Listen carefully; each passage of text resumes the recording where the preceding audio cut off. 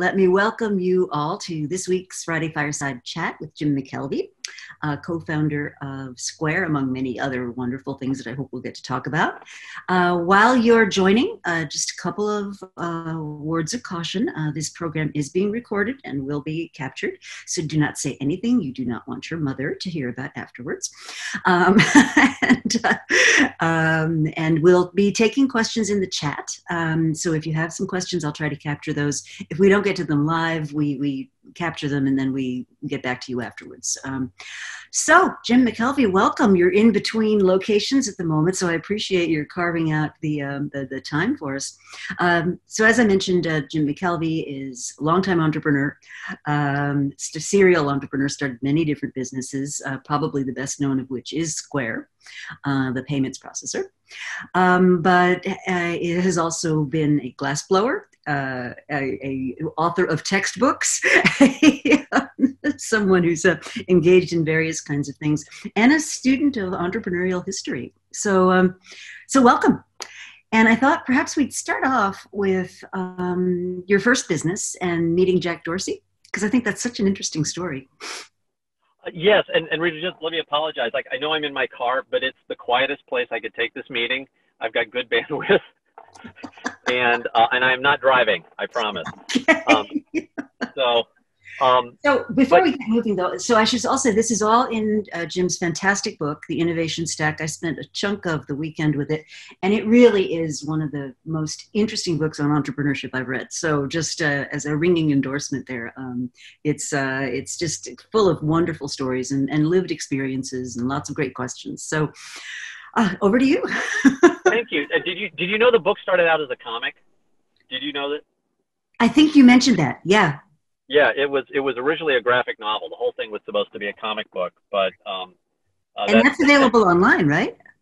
Yes, yes, you can get a free copy of the comic at jimmckelvey.com. But uh, I'm glad you liked it. But okay, so let's talk about. Uh, I'll, let me answer your question. Yeah, Jack and I started working together um, when he was 15 years old. Um, I had a company, actually, still have the same company, uh, and we were doing uh, this sort of marathon uh, programming uh, effort and recruited everyone we knew in the neighborhood. One of the people that we'd spoken to had been Jack's mother. She ran a coffee shop. We ran, we ran there often to go uh, uh, get chocolate covered espresso beans so we could keep everybody awake.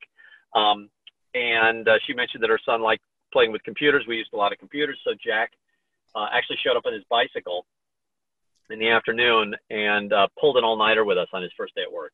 So we sent him home at 5 a.m. and uh, he got in trouble with his mom. So that, that was that was the start of my association with Jack. Now this was um, way before Twitter or any of those other um, things. Oh yeah, this was. I mean, this was almost 25 years ago. Yeah, so it, it was a while.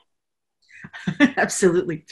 Um, and uh, so you were, um, among other things, a glass a, a glass blowing artist in. Yeah, yeah, um, I uh, became a glass blower out of necessity. I graduated with degrees in computer science and economics, but at the time um, I was working for a startup and quit because I discovered the boss was a crook, and I hmm. was not I was not smart enough to figure out to set up another gig before I quit my current job.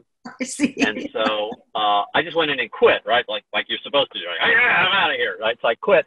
the next morning I was like, well, what am I going to do for a living?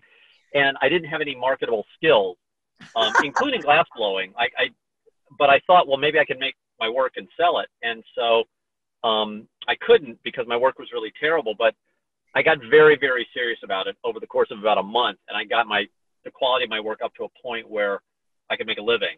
And then um, I picked up a gig with IBM uh, that basically flew me all over the country, and I developed a way of selling my glass into uh, galleries around the country. So, you know, at a pretty young age, I had a very good reputation in the glass world um, because I had all these name galleries. And you know, once you get one good one, uh, they all sort of fall into line. So it was it was actually a pretty good way to make a living. And You actually wrote a textbook about it, as I understand. Yes. Uh, so I, I taught a class about glass blowing, and uh, it was it became the most popular class at Washington University. Um, so we had 150 students, and normally glass is taught by sort of apprenticeship, where you you know watch the master do something and then the students try to replicate it. Um, that's not possible with 150 students. Like you just it just physically doesn't work. So I thought, well, I need a textbook, and I looked, and there were no textbooks. There were literally no textbooks on the subject of glass blowing. And you know, you think with a 2,000 year old, you know, practice, somebody would have written something down. Well, it turns out that there's, there's this massive culture of secrecy in the glass world, which, uh, you know, they used to kill you if you told secrets. The Italians, you know, they, uh, very Italian. They, they, they would make these glass daggers and they would stab the master to death if, you know, if he left the island. Oh yeah, it's great stuff, right? Um, so you know, I mean, I don't stab you to death anymore, but um, it's uh, it's it was still even in my day frowned upon to share secrets, and so nobody had written any of this stuff down. So I wrote a textbook on glass blowing, and uh, that was pretty good. It uh, got translated into Norwegian. Uh, it's been heavily pirated, um, but it's a text on glass blowing the best uh, testament, right? That people people take your ideas and steal them, right? Steal them, steal them. Yes, please, please feel free to steal the innovation stack too. I mean, it's like this. this I'm not, not going to make so, money um, on the royalties on this one. Yeah, so uh, I guess what interests me, well, not well, there's many, many things that interest me, but the the inspiration for what became Square, and I think the pattern of this is really interesting because you and Jack were talking about starting some kind of business, and sort of looking around for um, what what might be a I think you call it a perfect problem uh, yeah. you guys could solve. So it wasn't like the inspiration came first and then the entrepreneurial energy went behind it. It was almost like the other way around. Um, which which is different because that's not the narrative you usually hear about entrepreneurs, right? You usually hear about the apple fell from the sky and the you know the, the, heavens opened and i had this inspiration and then i went and chased my dream and this was sort of the other way around you were you were as i understand it from the book you were talking and reading and thinking you wanted to start something um, and then the inspiration came out of the glass business yeah uh, and we're lucky we got the inspiration because the idea that jack and i were about to pursue i think was pretty lame and i don't think jack was excited about it either um, but jack and i had always enjoyed working together and, you know, after he got kicked out of Twitter the first time, he was, you know, back in St. Louis and he didn't know what he was going to do. And he said, Hey, Jim, why don't we start a company together? And I was like, Great, what do you want to do? And he's like, I don't know, what do you want to do? So we had this desire to, you know, sort of get the band back together, but we hadn't written any songs, right? okay. So, um, uh, you know, fortunately, uh, you know, my, my horse died, my truck broke down, and then I had some inspiration for songs, right? You know, there was that, that, that's the whole thing um, in, in, the case of Square, I was actually in my glass studio trying to sell a piece of art, um, basically to pack up and move to California. I was, you know, like clearing the studio out, and I really wanted to get rid of this thing, and it was expensive and it was ugly. And like, if you can sell something that's ugly for a lot of money, like, do it, right? So, so I was so happy to get this sale, and then all of a sudden it falls through because I couldn't take an Amex card. And uh, and that was the inspiration for Square because I looked at my mobile phone and I was like, why does this stupid mobile phone not take credit cards? Like it does everything else. Like it turns into a TV, you know, it turns into a video conferencing system. It, you know, it turns into a game or a book or a map or a radio. Like it turns into whatever I want. That's that's what I, I consider my mobile device this magic thing that like magically becomes whatever device I need it to become. Um, and it wouldn't turn into a credit card machine. So we made it do that. That's amazing. But it took. Um, I mean, you uh, you talk in the book about uh, having having an idea, then creating a minor crime, then doing a confession, then committing a major crime. I just think that's such an interesting way of framing how you launch an entrepreneurial business to investors. well, yeah. So that you're talking about the pitch. The way we um, did the pitch was pretty dramatic and I, I believe in drama during during pitch sessions, uh, mostly because I mean these days I'm a VC partially. I, just a little bit of my career is venture capital, um, but sitting through pitches is just so boring. Like it's it's almost as bad as reading a business book. Like it's just that painful to sit there and listen to this crap. And so I, know, like if I'm if I'm the person sort of responsible for the for the event, like I want it to be entertaining, and I don't care if it's a book or a speech. Uh, in this case, it was a pitch, and so we wanted a pitch that was uh, both dramatic uh, and shockingly honest. So the drama came uh, by taking people's money with this crude little credit card reader that nobody had ever seen before. Which you made, um, right? You you yeah, oh, invented yeah, yeah. that. Uh, yeah, we we um, so Jack did the software and I did the hardware. Um, you know, the hardware. I mean, that's you know this thing, not uh, unfamiliar at the time. You know, but nobody had ever seen something this small read a credit card. No. So, you know, we got uh, really crazy response from taking people's money, and it turns out, Rita, if you if you take people's money, uh, along with that money comes their attention. okay, and that was Especially that the minor crime. It, yeah, yeah, that, yeah. Oh, that broke a bunch of laws because um, our system was completely like we were. I think I think my count was 17 laws or rules that we had um, in some way violated with each transaction. So I stopped counting at 17. I'm not sure if that's a precise number, but it was it was 17 or more. Um, so uh, you know, we start with this and we get everybody's attention by taking their money, and then we immediately slam them uh, with this slide that uh, Jack. It was this was this was Jack's idea that I thought was brilliant. Um, it was 140 reasons Square will fail, and so we listed everything, uh-huh. um, uh, including I think uh, being attacked by Amazon. I think that was one of our oh, 140 you, reasons. I saw that. Which actually, I think I think that was on there. But like we had Apple attacks, Facebook attacks. I think we had Amazon on there. You know, we had all the major tech platforms and you know alien invasions and meteors and like we, we just listed everything um, but the funny thing about that is that nobody does that nobody actually honestly discusses the reasons why a business might fail. If they're asking for money they just paint everything you know with you know rainbows and unicorns and they say oh it's going to be great there'll never be a problem you know uh, but that's just not true, and everybody knows it. And so, because it's not true, it sets up this dynamic where you know it's attack and defend. You know, the VCs are uh, defending, and the entrepreneurs are attacking, and it's this really hostile environment. Um, by being super candid about all the things that we thought could go wrong, it changed the dynamic. Like everybody was sitting on the same side then. And as a matter of fact, as we went through the 140 reasons, a lot of a lot of the VCs that we were pitching would say, "Oh, well, you know, we can help with that." So I had one guy, you know, talking about Amazon. He was on the board of Amazon. He said, "Well, if you if you take money from us, uh, you know, I'm on the board of Amazon, and I'll make sure they don't, you know, brain rape you or attack attack you or copy." Like, you know, he was he was basically offering us a solution to one of the problems that we've foreseen. Um, so it totally changed the dynamic of the pitch, mm-hmm. and um, we had a shocking level of success, just unheard of at the time. We had, uh, I think, uh, you know, 21 pitches, like 18 term sheets, something like that. I think there were a couple that we didn't get. Um, you know, we didn't get Kleiner because they were afraid of, uh, yeah, Kleiner was afraid that uh, uh, they got some bad information from somebody who was pissed off. Uh, one of my uh, friends in St. Louis told them told them some bad information, uh, so they they dropped out. And then Sequoia dropped out uh, because I made a bad joke. Uh, um, but it was funny because Sequoia and Kleiner actually came in in later rounds. So, hmm. so last laugh time. Oh, they, they they were laughing with us. They've they've they've done very very well on those investments. So, That's yeah. great. That's great.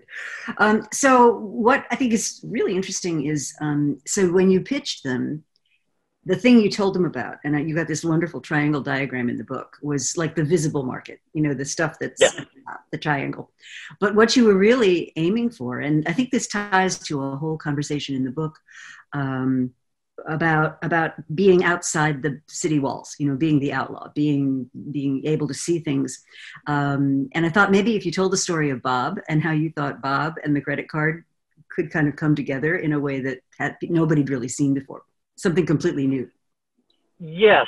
So, um, so I have a friend who is, I mean, he's probably demonstrably crazy. He's been locked up. Uh, I saw him yesterday. He's he was in the studio with me yesterday, um, uh, and uh, he's featured prominently in the book because he was one of my inspirations, probably the inspiration for me.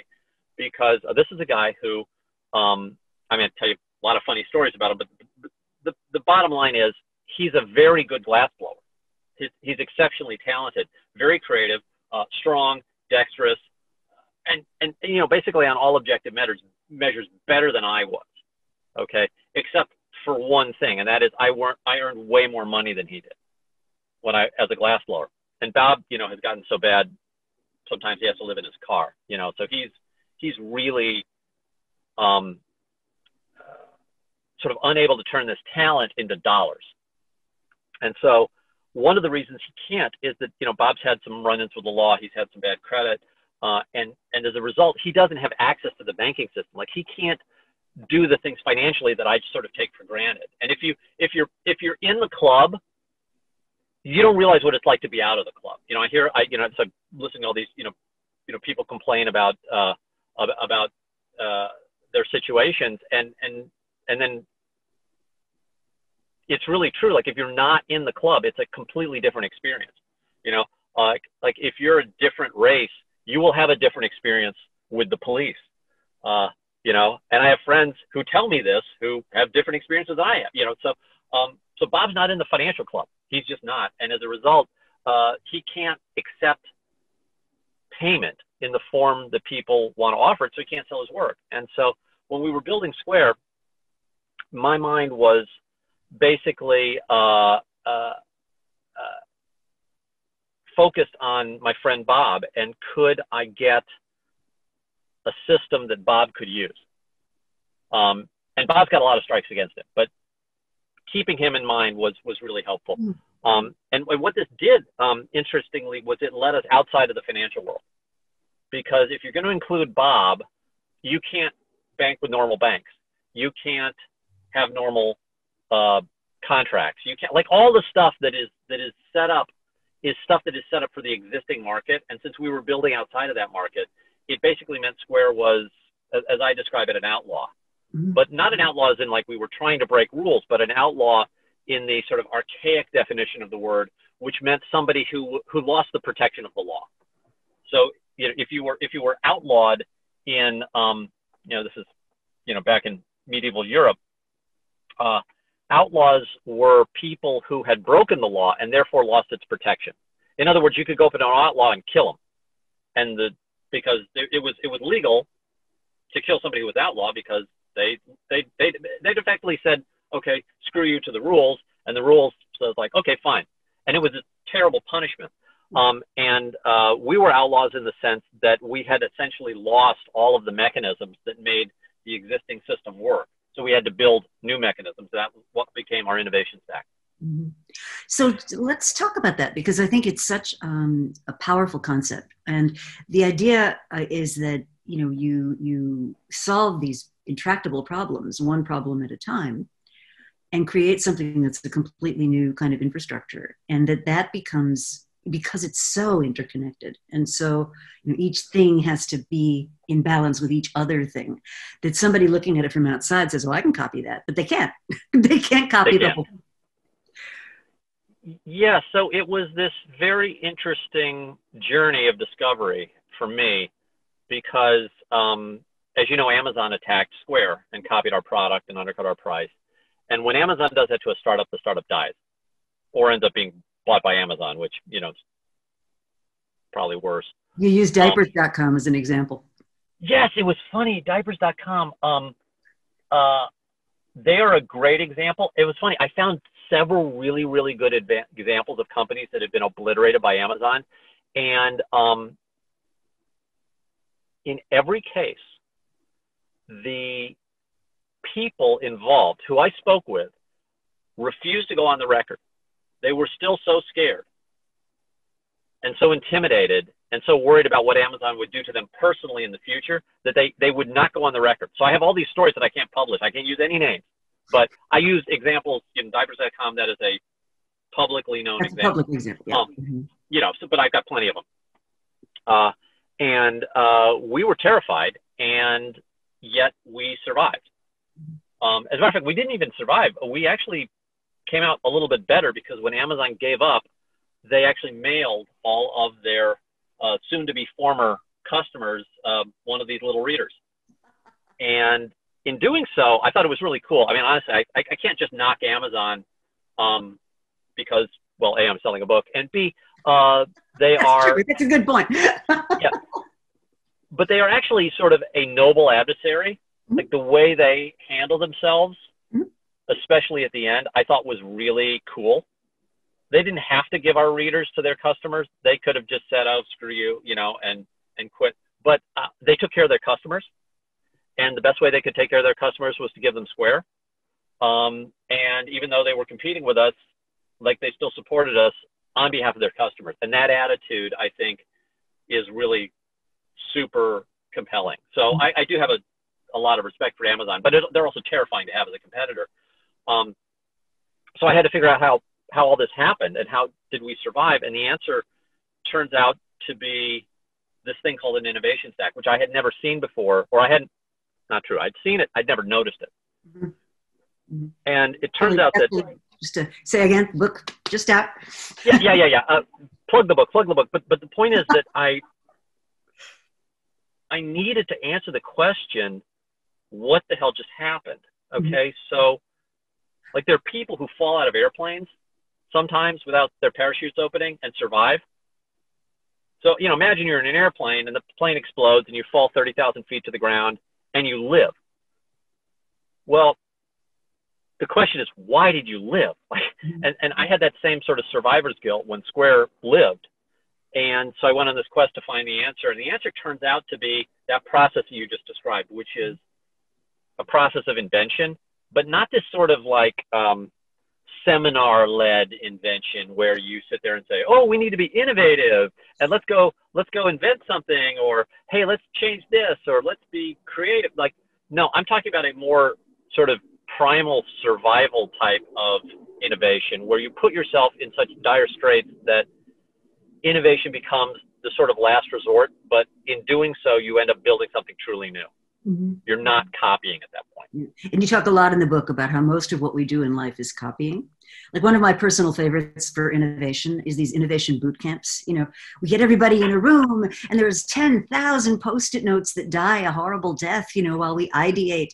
Um, and it's like, and then, and everybody goes back to work. And it's like, that was fun. you know? Yes, yes. I, the t-shirt I'm wearing, I got from one of those things. Honest to God, you know. Um, totally. Yeah, free clothing, right? I think they gave me socks too, but I won't show you those. Um, I have socks from a conference I'm about to go to. So I know you get socks. Actually, I got I get these shoes at the conference. They're now giving out shoes. Shoes? Fabulous. This is nice conferences. Um, but the uh, uh, yeah, the, the, there's sort of different types of innovation, and what I was looking for was this thing that explained how these companies that were startups, still very frail, mm-hmm. got attacked by incumbents who you would think would just kill them. They should die, and they don't. And then these companies, these little companies, end up dominating a whole industry. They become the biggest in the world or in their market. And, and, and you see that phenomenon repeated 50 times, and you go, oh my God, wait a second. There's a pattern here. There, there is an honest to God pattern here. And, and then my first thought was, okay, uh, if there's a pattern here that's been happening for thousands of years, there must be dozens of books on this subject. So I just need to read those books. There are no books on this. I could find nothing on this. And then I was like, well, why the hell is that? Like, because one of the things I say in the book is, you know, like, if you think you've had an original idea, you have not had an original idea. And I, I don't think I've ever had an original idea. Um, somebody thought of it as well they might not have done something with it, but they have certainly had the idea. So, um, so I've, I've unearthed a phenomenon that's been happening for centuries. Why hasn't somebody written about it? Well, it turns out they couldn't write about it for the last century, at least in the English language, which is all I speak, because the word doesn't exist to describe a business person who does something new. We do not have a word in English for that. We used to. used to be the word entrepreneur. That's why the word entrepreneur was coined. But these days, entrepreneur is synonymous with business person. Yeah. Right.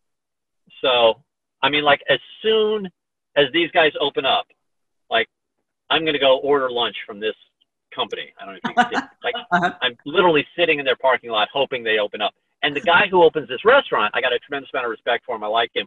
Um, but he, in my mind, is a business person mm-hmm. because he's got a business. And a that's a franchise. But even if it was like an original restaurant, there are a lot of restaurants that have been done before. Um, that's business. Business is typically something that is measurable, repeatable, certifiable.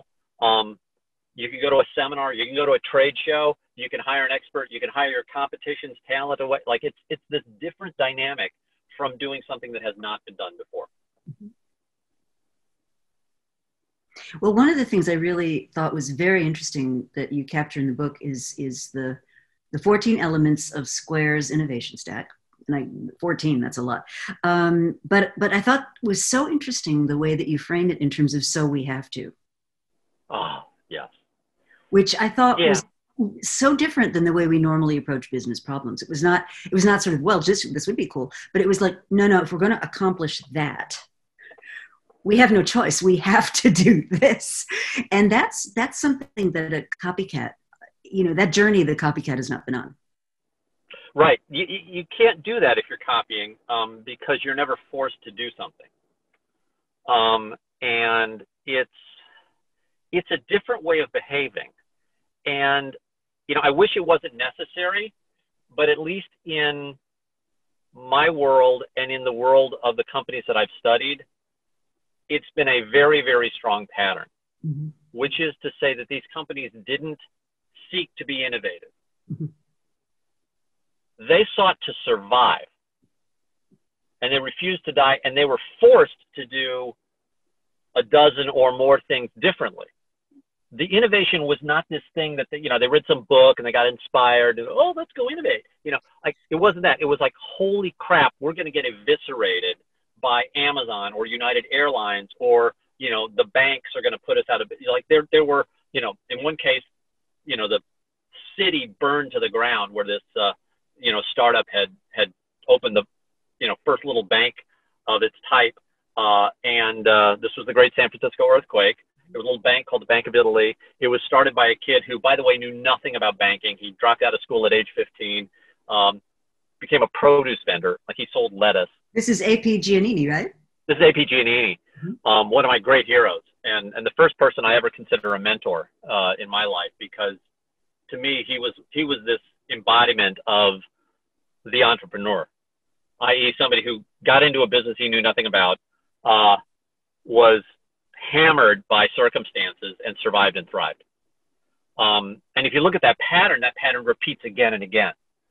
So, um, you know, the question I always get asked is, well, like, how can I make myself innovative? And I ask, and, and I answer that by saying, you you do that by committing to a task that humanity has not figured out how to do. Like that's the process. Very simple process take everything that humanity has done and then pick something that it hasn't done. Mm-hmm. And you say, okay, I'm going to do this.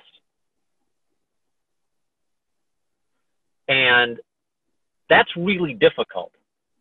But if you commit to it and refuse to quit, you will you will become innovative. Even if you're not an innovative person, you're because you're gonna you're gonna wake up one morning. It's like the stuff's not working.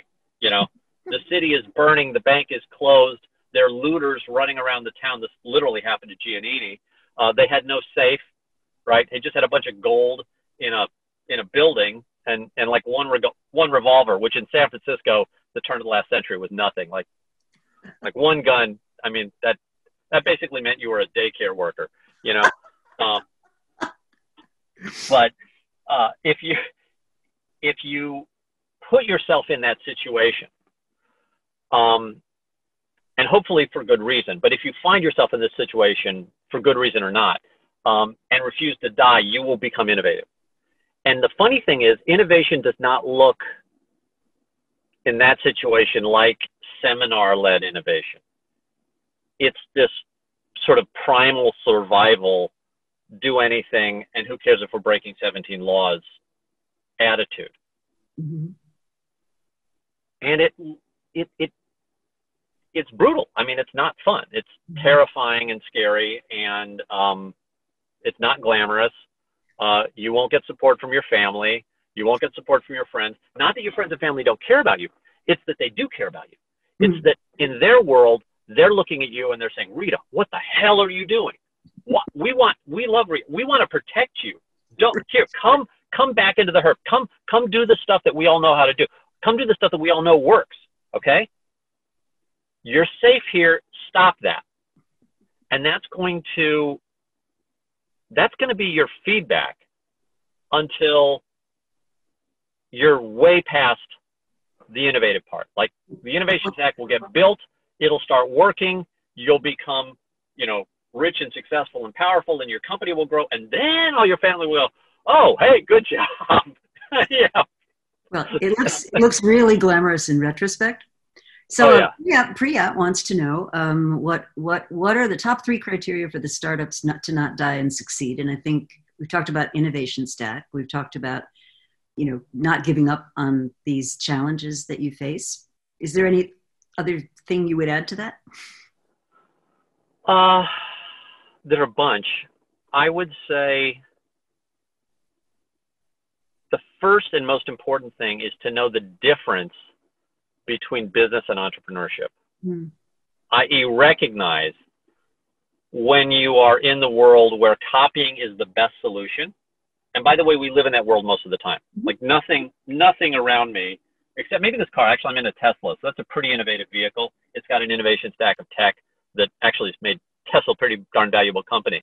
Um, they do a lot of stuff differently. It's not, you know, the just the capacitors in front of the batteries are super interesting. I'm like, there's all sorts of probably 50 different things that are different about this vehicle. But as I look out around me, you know, I see asphalt. There's nothing original about that. Stop signs, those are not like. I see grass. Well, that grass is not original because it comes from you know forerunners of grass. I'm not original. I'm a copy of my parents.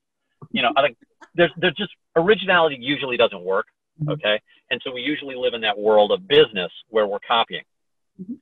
for good reason. I'm not denigrating copying. I'm saying copy when you can. But then I'm also saying you should also recognize that there is this other world that we almost never visit because it's unpleasant and we only visit it when we're forced to. But recognize when you are in that world and recognize that there are different rules that mm-hmm. apply in that world.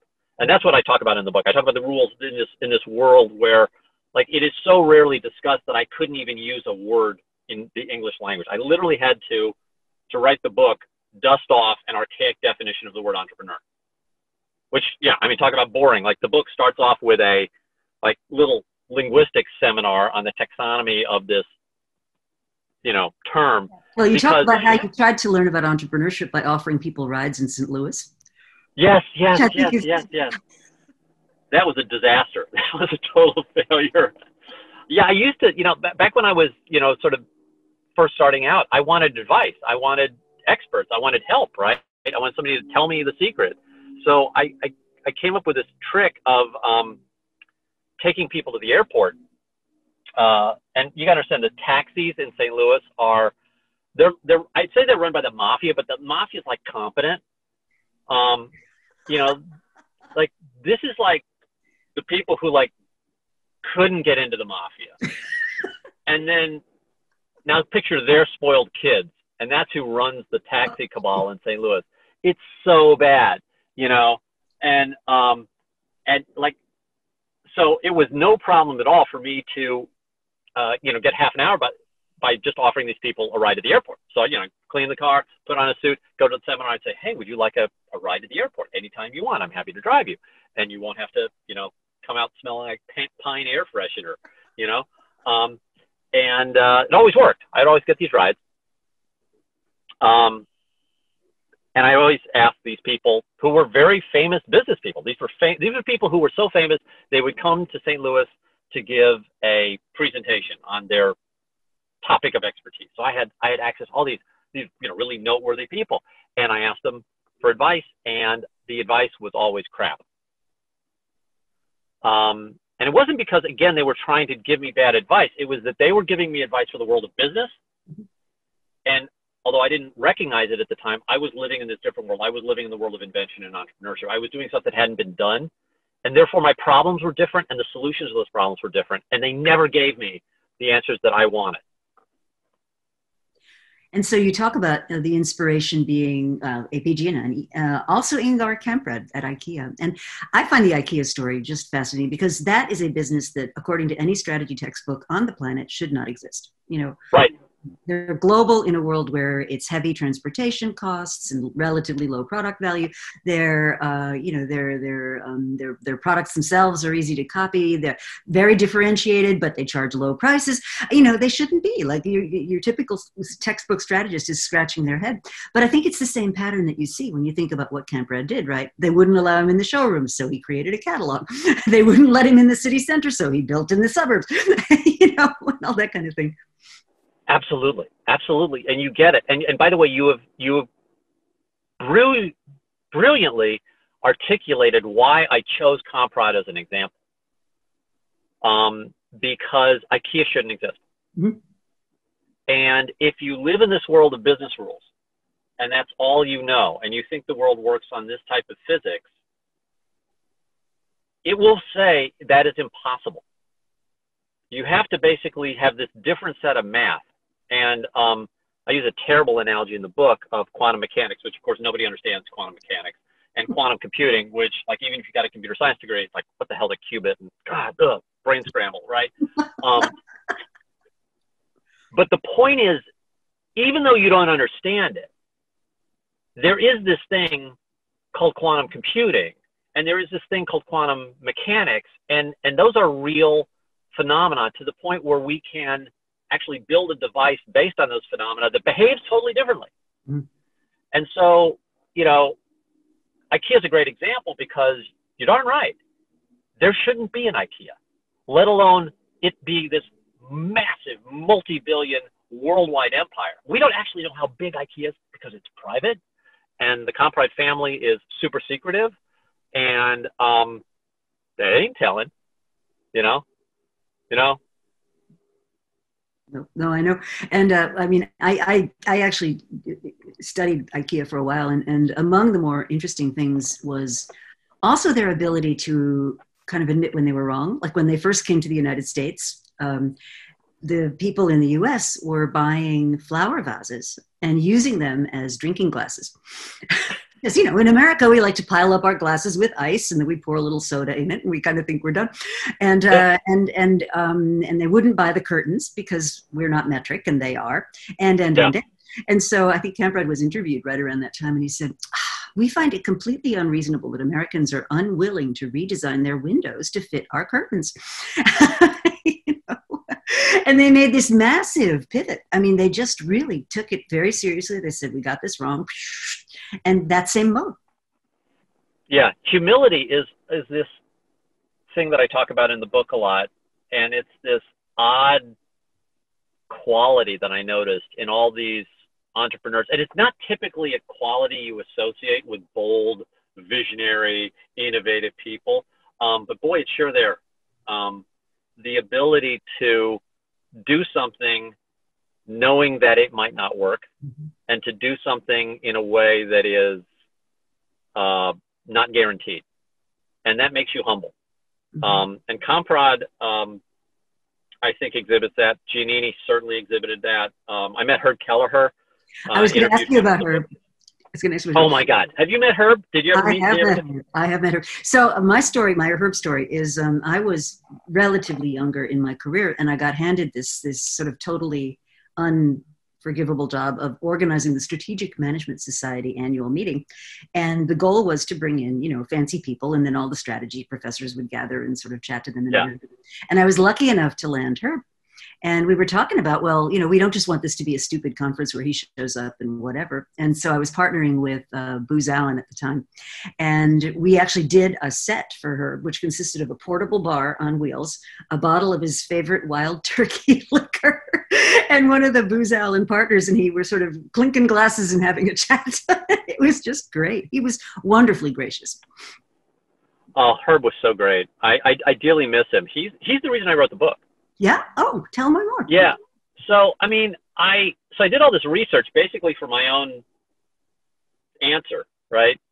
And I, I wanted I wanted to know what had happened to Square and why. Mm-hmm. I mean, I knew what happened. I, I wanted the why, and it just bugged me enough that I did research and I started. And then I I stumbled onto this pattern, and then I was like, oh wow, this is really interesting. Oh, you know, like it seems to be something. And then I, you know, I stopped myself because I thought, wait a second, this is this is totally selection bias, right? Because if you, or I should say sampling bias, um, it's sampling bias. But if if you choose examples from history and you cherry pick the examples properly, you can convince yourself that anything is true.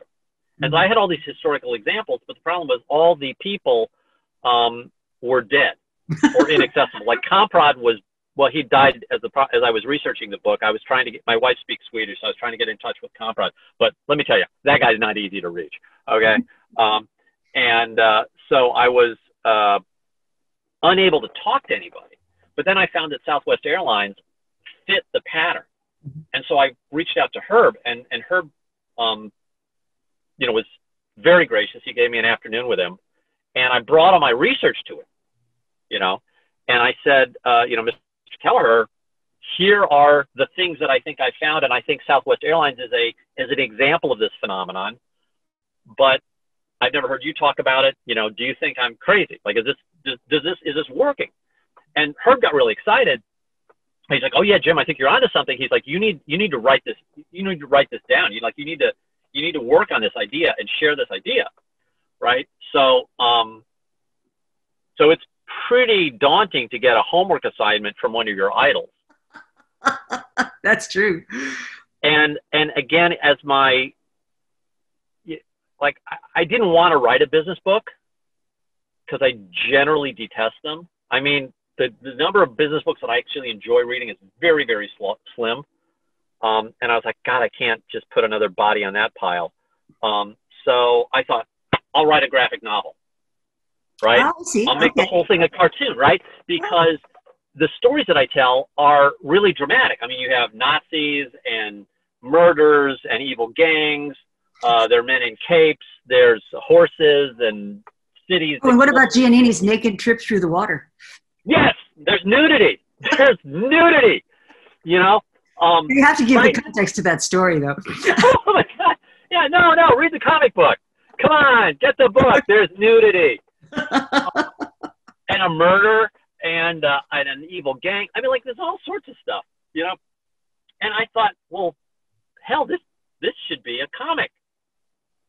So I wrote a comic. It took me like a year. Did the whole thing as a graphic novel. Well, that was stupid. Um, I finished this thing. I didn't finish it, but I had it like pretty much together, and I was so excited to show it to her. I called up Herb and uh, he hated it. Just hated it. You'd spent how and long working on it? I spent about a year and a half working on it. You know, because I wanted it to be really cool, and I'm slow, and it, you know, a lot of revisions and revisions. But I showed it to Herb, and and he said, he said, Jim, I know what you're doing, but I think you're trivializing this uh. thing that's very important.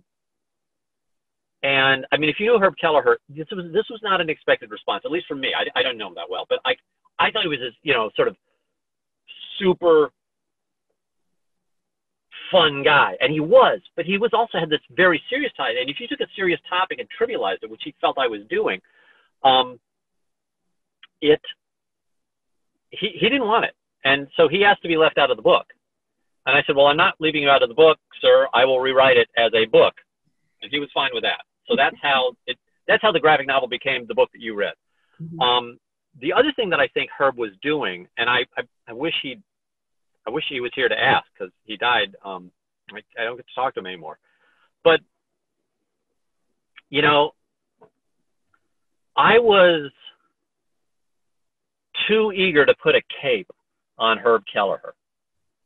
I was too eager to tell these stories as sort of like hero stories, which sort of fits the graphic novel format. And I think that's a real mistake. Mm. because heroes are people who are different from us. And if you see the entrepreneur or the person who you know builds an innovation stack as a hero, you are way less like you you you are more likely to disqualify yourself when you uh-huh. come into that moment gotcha. where you can either act or quit. Okay, so let's say you're running along in your life and everything's fine and you, everything's working for you, and then all of a sudden something happens and your solutions no longer work. And maybe you look for a solution and society doesn't have a solution. Okay, so you've now hit the hit the edge of what we know as humans. Okay, and the only way to solve this problem is to be innovative. Okay, now you have to do something differently. You're forced to do that if you want to solve this problem. Okay, now if you think that only heroes get to take that last step, and you're not a hero, I'm not a hero. I'm totally terrified of most stuff. You know, uh, like when my wife says we have to talk, my hands sweat. Okay, that's how bold I am, right?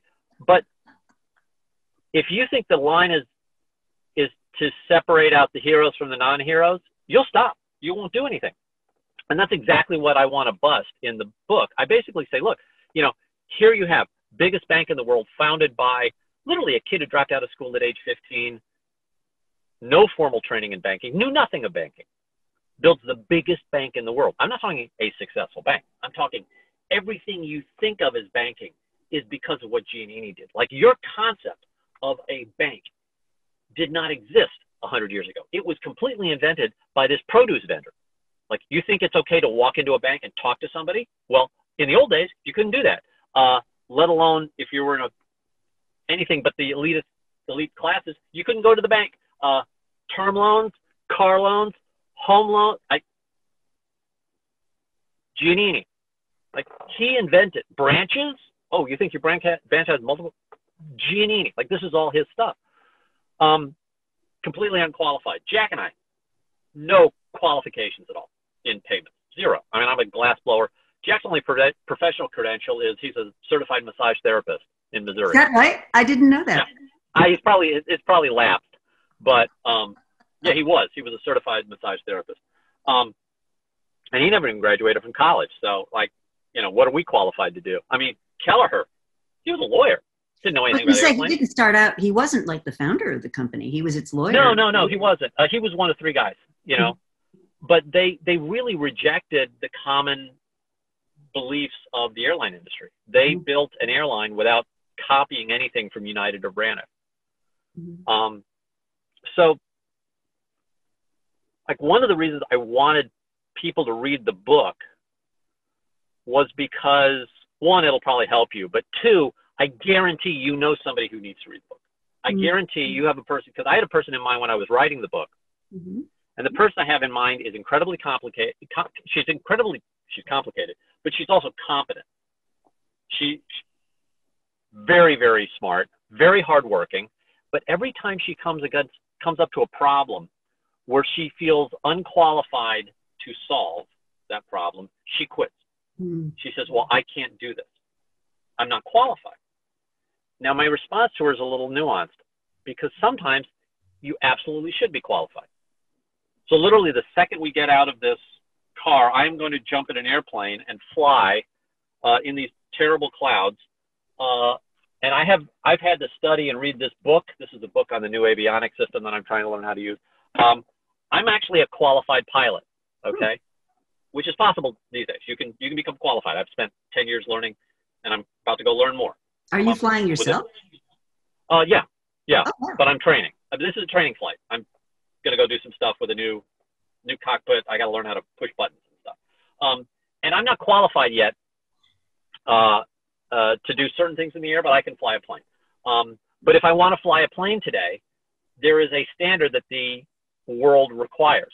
I have to get drug tested. I have to pass a written. I have to pass a flight test. I have to fly a certain number of hours. I have to do certain uh, maneuvers. I have to have you know a certain level of health. I, all these things have to have have to be in order for me to be qualified because it is possible today to be be qualified as a pilot. But the first human to fly an airplane, either Orville or Wilbur Wright, because they flipped a coin to see who it would be. Neither one of them were qualified. It was impossible to be qualified to be the first person in the air. Like they weren't qualified. It's impossible to be qualified if you're the first person to do it. That's and my friend who I wrote the book for, I think of her and I think, what a loss to the world mm. when she disqualifies herself. Mm-hmm. When she sits there and says, I can't do this. I don't know that that's true. Like, she might actually be able to do it. But I know she'll never do it if she doesn't try. If she doesn't have the ability to recognize where that world ends of where you can copy the solution and be qualified. And, and where that world begins, where you have to actually innovate and do stuff that's really unpleasant, um, she's always going to stop at that barrier. And so that's why I wrote the book. And, and believe me, the book, the book was excruciating to write. I mean, it's been rewritten. It's now in its eighth draft. I published the eighth draft of the book. Um, but the point is to get this message out there that look, what we've been taught of as innovation is seminar crap that I don't know. I mean, if you want to collect Patagonia jackets, fine, have fun. But it's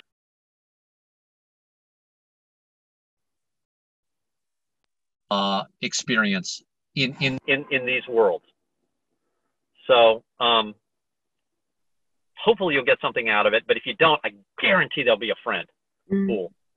So one of the things you talk about is, um, and I think I think this this idea of how it feels is super important to the point you just made because you know we have this idea that oh, you know Richard Branson decided to start you know an airline and champagne popped and he jumps out of buildings in a bungee jumping cord and and you know it's just this. Well, that's just Branson. Like and, he's well but i think i think sometimes we we we sort of have this idea that it's got to feel really great you know it's, it should be a pleasant feeling and what you talk yeah. about is fear um, you talk about humility you talk about feedback as absolutely core to getting i guess getting each piece of this innovation stack built yeah um, so fear's a tough one um, and I've never been able to do anything without the, the significant without sort of fear. Mm-hmm. Um, honestly, I'm a little afraid about what I have to do this afternoon. Um, but what I've learned over time is that even though I'm afraid, I can keep functioning. Mm-hmm. Um, and I think that, and again, like this is this is really sort of where the, you know, the the book gets very personal because uh, if you read Kamprad's memoirs, uh, memoirs, if you talk to Herb Kelleher, if you talk to these people or read what they've ever written, uh, you'll find that they were very afraid.